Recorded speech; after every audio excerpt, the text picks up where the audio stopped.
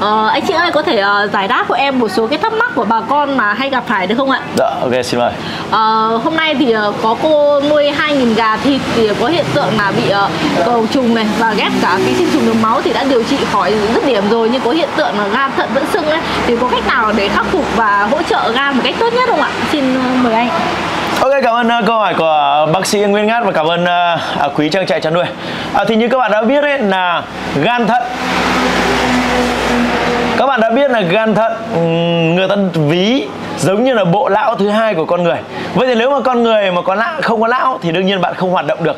Vậy thì cơ thể của bạn nếu mà muốn mạnh khỏe mà không có gan, không có thận để bài thải một số những cái độc tố, một số những cái chất nguy hiểm cho cơ thể, thì đương nhiên cơ thể của con gà hay con người cũng không thể tồn tại được. Vậy thì sau cái quá trình sử dụng à, kháng sinh này, và ngay cả cái việc các bạn không sử dụng kháng sinh, các bạn cũng lên giải độc gan thận, tái tạo lại tế bào gan thận để giúp cho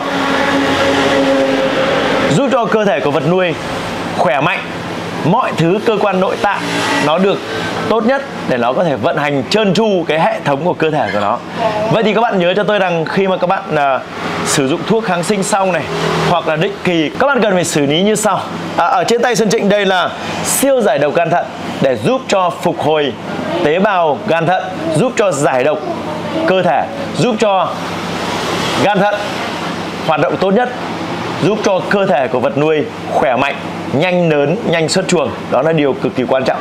Vậy thì nếu mà các quý trang trại chăn nuôi đang chăn nuôi gà, chăn nuôi heo hay chăn nuôi bất kỳ một con gì, siêu giải độc gan thận, các bạn cần phải chuẩn bị sẵn ở trong nhà, trong trang trại này các bạn, để chúng ta sử dụng định kỳ.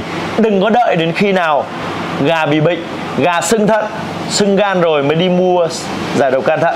Cảm ơn quý anh chị em đã xem video clip này.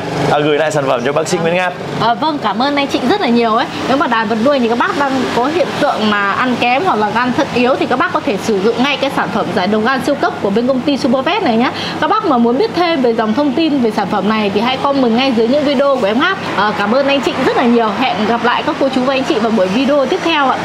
Chào